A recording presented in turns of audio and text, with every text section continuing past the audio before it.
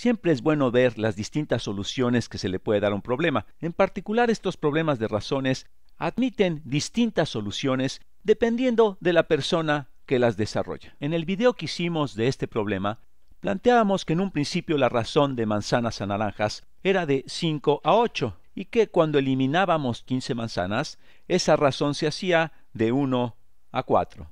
Y respondimos a la pregunta, ¿cuántas frutas en total tengo después de eliminar 15 manzanas? Resolvimos el problema y encontramos que nos quedaban 50 piezas de fruta. La solución la encontramos platicando. Planteamos nuestras consideraciones de manera verbal. Veamos si podemos resolverlo de una manera más algebraica. Así es que hagamos m el número de manzanas al inicio, las manzanas que teníamos inicialmente, y n el número de naranjas que no cambia, n el número de naranjas.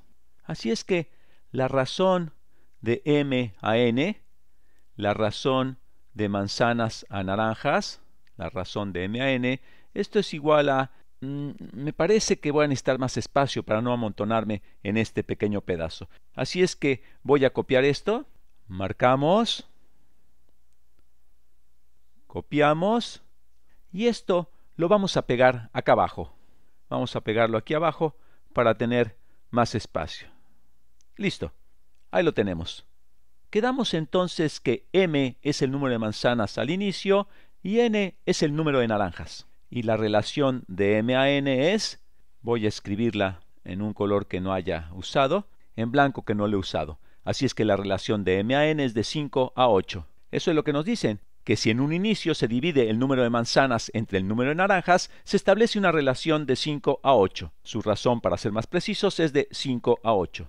Cuando quitamos 15 manzanas, nos quedan m menos 15 manzanas y nos dicen que entonces la razón de manzanas a naranjas es de 1 a 4. Así es que a menos 15, el número de manzanas que tenemos cuando quitamos 15, la razón de eso al número de naranjas resulta entonces de 1 a 4. Veamos si podemos resolver este sistema. Tenemos ahora un sistema de dos ecuaciones con dos incógnitas, el número de manzanas m y el número de naranjas n. Se parecen un poco las letras, podríamos confundirnos, pero no, voy a hacerlo con cuidado para que no nos pase eso. Déjame volver a escribir aquí abajo el sistema de ecuaciones. La razón original de manzanas a naranjas es de 5 a 8. Y cuando eliminamos 15 manzanas, la nueva razón de manzanas a naranjas es de 1 a 4. Esta es una manera algebraica de plantear nuestro problema. En la ecuación del lado izquierdo Hagamos la multiplicación cruzada de los denominadores. Obtenemos entonces 8m es igual a 5n. Y si restamos 5n a ambos lados, nos queda del lado izquierdo 8m menos 5n es igual a 0. Esta es simplemente una ecuación lineal con dos incógnitas. ¿Qué obtenemos en la ecuación del lado derecho? De nueva cuenta hacemos la multiplicación cruzada de los denominadores para obtener 4m menos 60, he hecho la multiplicación de 4 por 15, es igual a 1 por n, n, lo voy a dejar como 1n. Ahora, ¿qué hacemos? Vamos a restar 1n a ambos lados y nos queda 4m menos 1n menos 60 igual a 0. Sumamos ahora 60 a ambos lados y obtenemos 4m menos 1n es igual a 60. Y aquí se ve claramente que tenemos un sistema de dos ecuaciones lineales, aquí tenemos una y aquí tenemos la otra ecuación, con dos incógnitas, m y n. Podría haber usado x y y para designar las variables y así no confundiría esta n con la m. En fin, si tenemos cuidado con eso, no hay ningún problema. ¿Y cómo resolvemos esto? Podemos multiplicar una de las ecuaciones por un factor adecuado para posteriormente, al sumar o restar las ecuaciones, se elimine una de las variables. Hagamos eso.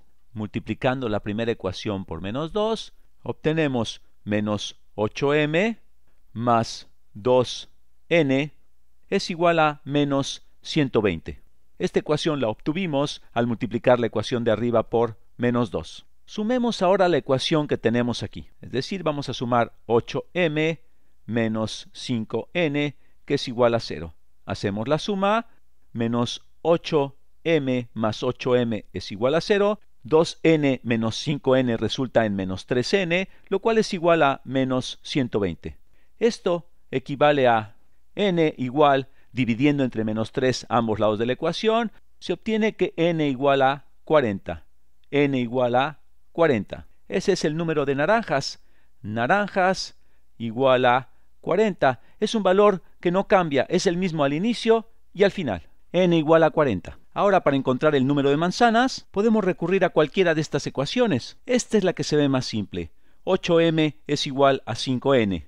8 por m es igual a 5 por el número de naranjas, 5 por n.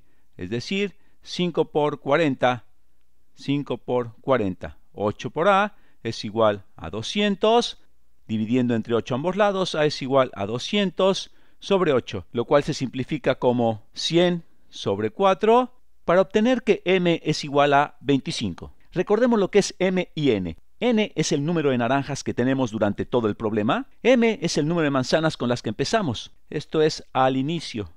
Al inicio hemos encontrado que al inicio teníamos 25 manzanas y 40 naranjas, es decir, iniciamos con 40 y 25, 65 piezas de fruta, 65 frutas. Y al eliminar 15 frutas, al final teníamos 50 frutas, la cual es exactamente la misma respuesta que obtuvimos cuando hicimos el problema por primera vez. Qué bueno que lo hicimos de dos maneras. Si deseas saber el número de manzanas al final, al inicio había 25 manzanas, se eliminaron 15, con lo cual quedan 10 manzanas. Empezamos con 25 manzanas, 40 naranjas, 65 frutas y terminamos con 10 manzanas, 40 naranjas, en total 50 frutas. En fin, espero que te haya sido útil haber resuelto este problema de una manera diferente.